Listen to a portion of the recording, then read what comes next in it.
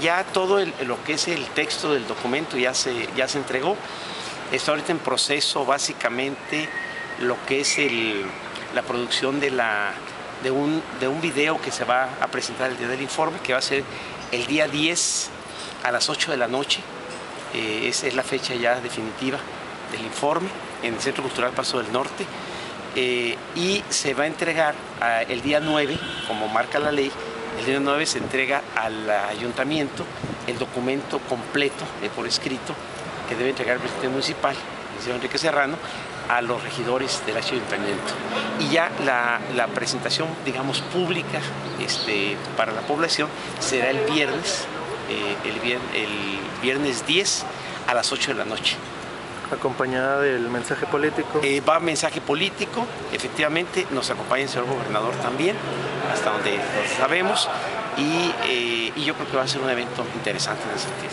¿Todo este evento qué, qué presupuesto tiene?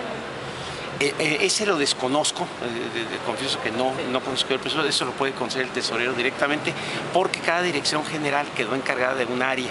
Una gente va a atender prensa, otra área va a atender a los invitados especiales, otra área va a atender y cada uno va a tener su propio, su propio solicitud de presupuesto y ya directamente el, tesorero les dará la administración correspondiente.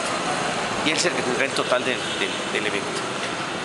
Oye, director, en otro tema, eh, sabemos que se le otorgó el premio de transparencia al, ayuntamiento. ¿Cuándo se lo entregarían?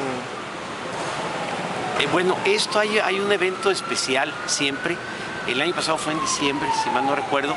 Entonces va a depender mucho de las, de, las propias este, calendarios que tenga la Secretaría, eh, digo, el, IFAI y el, Chitype para llevar a cabo esto. Entonces puede ser cualquier día, la realidad de las cosas es que no sabemos exactamente la fecha, lo único que sabemos es que pues hemos tenido una calificación bastante buena y se ha trabajado bastante bien, hay mucha información de parte del municipio.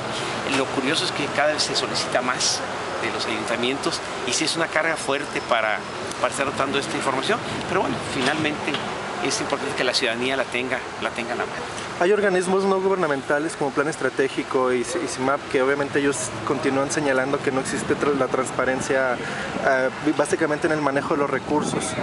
¿El ayuntamiento está...? Sí, nosotros eh, de acuerdo con la ley y de acuerdo con la información que tenemos, este, eh, entregamos a tiempo y de acuerdo como, como lo establece.